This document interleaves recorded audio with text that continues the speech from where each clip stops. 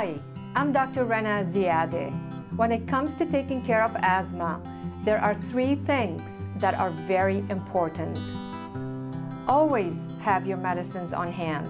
Know how to use your medicines to control your asthma symptoms. Know how and when to get help when you need it.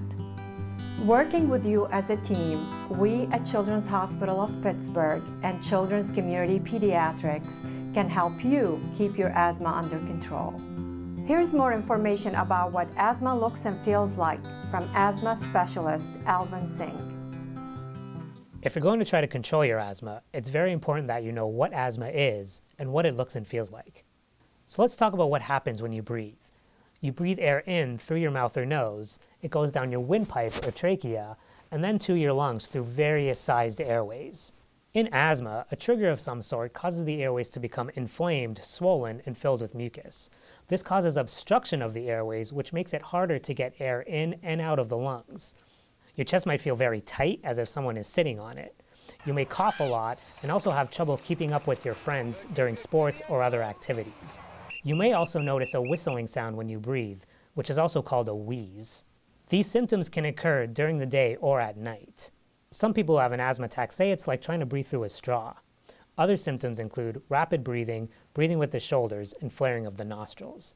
Smaller children can have rapid breathing as well, which can sometimes cause the skin around the neck and the ribs to be sucked in.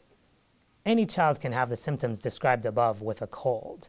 But if the same symptoms keep coming back more frequently, you should think of asthma as a possible diagnosis and see your pediatrician. Asthma can be brought on and made worse by different things. Allergies, which are accompanied by sneezing and runny nose, can also make asthma worse. Seasonal allergies can also make asthma worse depending on the time of year. Various allergens, such as dust, grass, ragweed, and mold can make asthma worse. Other triggers, such as changes in weather, crying or laughing very hard, and the common cold can make asthma worse as well. Hi, I'm Linda Earhart with the American Lung Association, Program Manager for Pennsylvania Asthma Partnership. I hope you found these videos helpful.